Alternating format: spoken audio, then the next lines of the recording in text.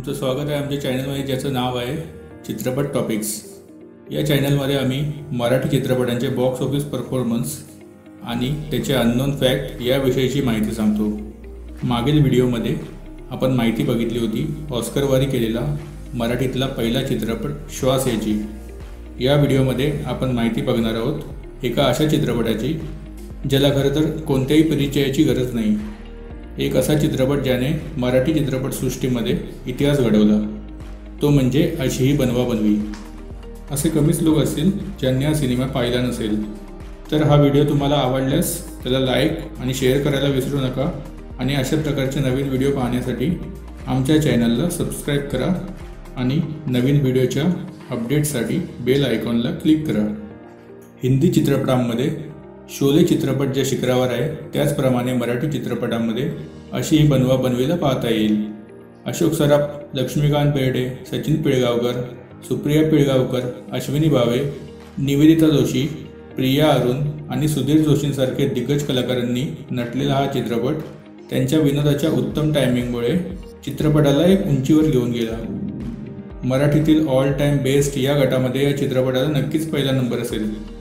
सचिन पिळगावकर यांनी या सिनेमामध्ये अगदी लहानात लहान रोलसाठी सुद्धा काहीही तडजोड केली नव्हती. अगदी त्यांच्या काकांचे काम करणारे सुहास भालेकर असोत जे चित्रपटामध्ये फक्त एका सीनमध्ये दिसतात किंवा कमळीच्या वडिलांचे काम करणारे जयराम कुलकर्णी असोत. अशी छोटी भूमिका करूनही हे कलाकार आपली छाप ठेवून गेले. या सर्व गोष्टींमुळे या चित्रपटाला त्या काळात प्रचंड लोकप्रियता मिळाली होती. या चित्रपटाला बत्तीस वर्ष पूर्ण होत आली तरी आजही प्रेक्षकांच्या मनामध्ये हा चित्रपट ताजा आहे. आजची पिढी या चित्रपटाला फार आवडीने पाहते. या चित्रपटातील अनेक संवाद आजही प्रेक्षकांच्या तोंडपट आहेत. दोन तास सव्वीस मिनिटांचा हा चित्रपट तेवीस सप्टेंबर एकोणीसशे अठ्ठ्याऐंशी रोजी प्रकाशित झाला होता. याच वर्षी दादा कोंडके यांचा मला घेऊन चला. आशा काळी मोहन जोशी यांचा नशीबवान सचिन यांचा माझा पती करोडपती लक्ष्मीकांत बेर्डे अश्विनी भावे यांचा किस बाय किस आशा काळे यांचाच आई पाहिजे जयश्री गडकर यांचा पंढरीची वारी अशोक सराफ आणि लक्ष्मीकांत बेर्डे यांचा चंगू मंगू तसेच सगळीकडे बोंबा बोंब घोळात घोळ खट्या सासू नाथाळा नवरा असे अनेक हिट सुपरहिट चित्रपट यावर्षी प्रदर्शित झाले होते.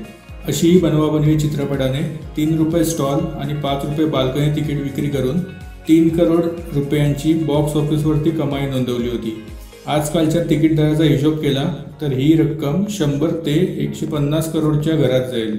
अशोक सराफ लक्ष्मीकांत बेर्डे सचिन पिळगावकर सुशांत रे सुप्रिया पिळगावकर अश्विनी भावे प्रिया अरुण निवेदिता जोशी हे कलाकार आपल्याला चित्रपटामध्ये मुख्य भूमिकेमध्ये दिसले होते.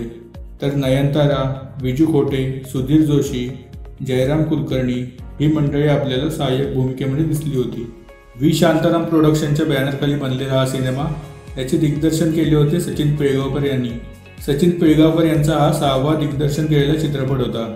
या अगोदर त्यांनी अनुक्रमे माय बाप नवरी मिळे नवरेला सव्वा शेर गंमत जम्मत आणि माझा पती करोडपती या चित्रपटांचं दिग्दर्शन केलं होतं. या चित्रपटाचे निर्माते होते किरण शांताराम. तसेच याची पटकथा आणि संवाद लिहिले होते वसंत सबनीस यांनी. अरुण पौडवाल यांनी या चित्रपटाला संगीत दिले होते. तर या चित्रपटाचे गीतकार होते सुधीर मोगे आणि शांताराम नांदगावकर. चित्रपटाचे पार्श्वगायन केले होते सुरेश वाडकर सुदेश भोसले अमित कुमार शैलेंद्र सिंग अनुराधा पौडवाल उत्तरा केळकर अपर्णा मयेकर सुहासिनी आणि खुद्द सचिन पिळगावकर यांनी. या चित्रपटामध्ये एकूण चार गाणी आहेत आणि आजही ही सर्व गाणी पॉप्युलर आहेत. ही गाणी आहेत हृदय वसंत फुलताना कुणीतरी येणार येणार ग मनुजा जाग जरा आणि टायटल ट्रॅक अशी ही बनवा बनवी. यामधील हृदय वसंत फुलताना हे गाणं प्रेक्षकांचं ऑल टाईम फेवरेट गाणं आहे. तर कुणीतरी येणार येणार ग हे गाणं आजही ओढ भरणे डोळ्या जेवण अशा कार्यक्रमामध्ये आवर्जून लागते. तर आता पाहूया या चित्रपटामधील काही खास गोष्टी. फॅक्ट नंबर एक. अनेक समीक्षकांनी नमूद केल्याप्रमाणे हा चित्रपट मराठी चित्रपट सृष्टीमधला सर्वोत्कृष्ट कॉमेडी आणि सर्वात जास्त पाहिलेला चित्रपट आहे. फॅक्ट नंबर दोन. हा चित्रपट एकोणीसशे सहासष्टमधील हिंदी चित्रपट बीबी और मकान या चित्रपटाचा रिमेक आहे. हा चित्रपट दिग्दर्शित केला होता ऋषिकेश मुखर्जी यांनी.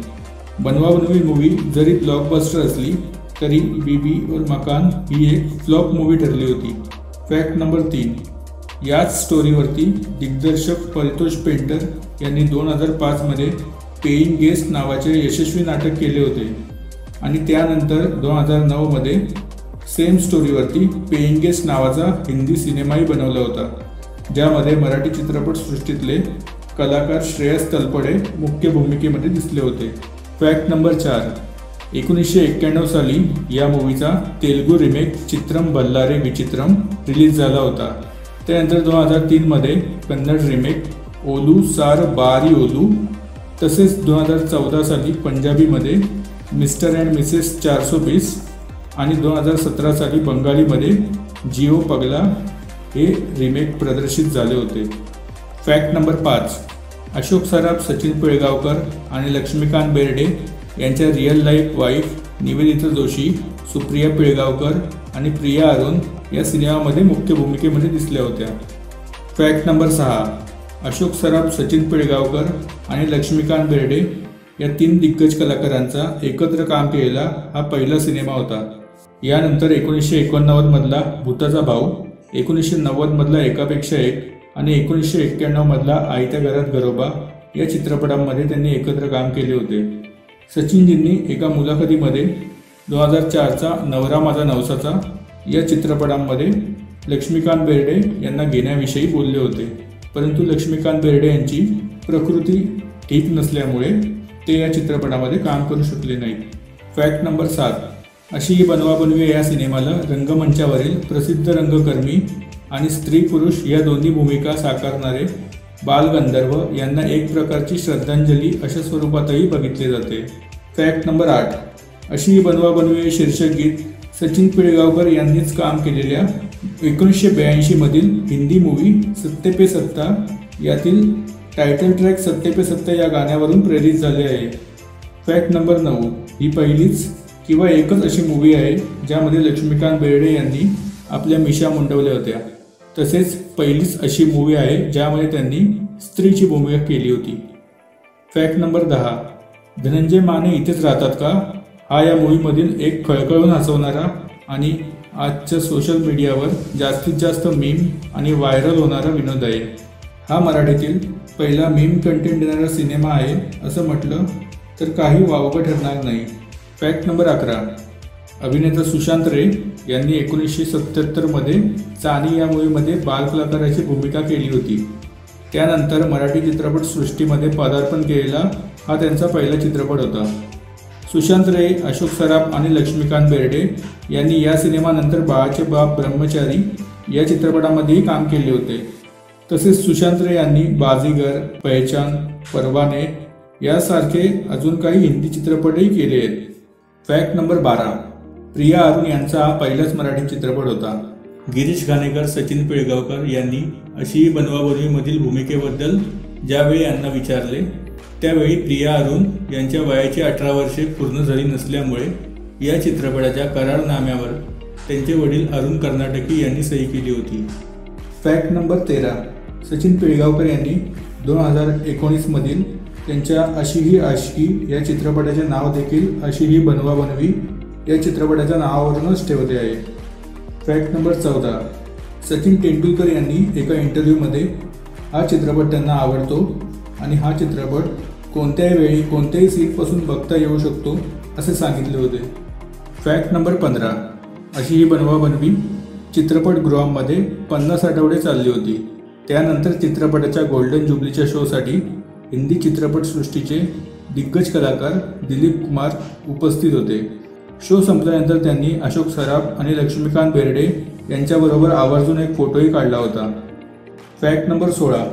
मुंबई पुणे मुंबई तीन मधील कुणी येणार ग? या गाण्याची सुरुवात सुद्धा अशीही बनवाबनवीमधील कुणीतरी येणार येणार ग या गाण्यावरूनच प्रेरित झाली आहे. फॅक्ट नंबर सतरा. अशीही बनवाबनवीमधील आणखी एक हिट डायलॉग म्हणजे हा माझा बायको पार्वती.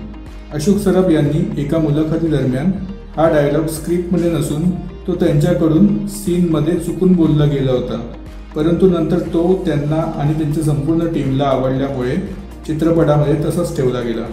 तर मित्रांनो तुम्हाला व्हिडिओ कसा वाटला हे कमेंट करून जरूर कळवा. व्हिडिओ आवडल्यास त्याला लाईक आणि शेअर करा. तसेच आमच्या चॅनलला सबस्क्राईब करून बेल आयकनवरती क्लिक करा. धन्यवाद.